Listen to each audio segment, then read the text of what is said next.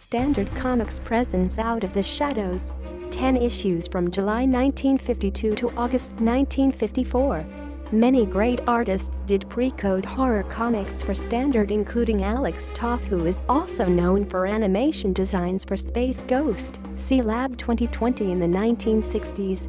George Roussos who penciled the Great Spider Creature cover pictured here also drew comics for EC.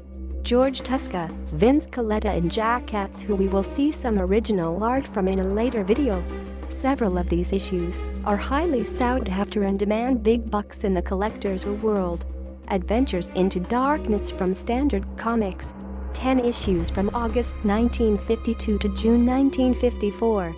Standard employed some of the best artists from the pre-code era including George Roussos, Ross Andru, Mike Esposito, Jack Katz, Alex Toth, Nick Cardy and George Tuska, just to name a few.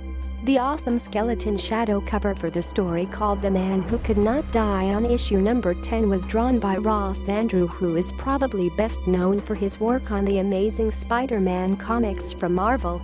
Ross Andru and Mike Esposito collaborated on many stories for Standard Comics during the pre-code horror period. The stories in this series tended to be more classic horror in nature, and we some excellent pieces of original art from some of the stories and adventures into darkness on ghostclinic.com. The Unseen. Standard Comics.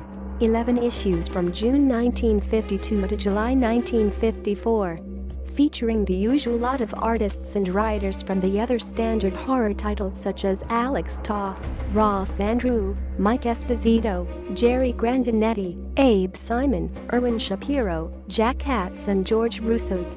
There are some great stories in this title, and we'll present some original art with the next video and blog post on ghostclinic.com. The Wailing Woman by George Roussos in issue number 9 is based upon the classic Hispanic horror tale of La Llorona, wherein Mexico City is haunted by the Wailing Woman. Some images and scans from Heritage Auctions and Comics.org.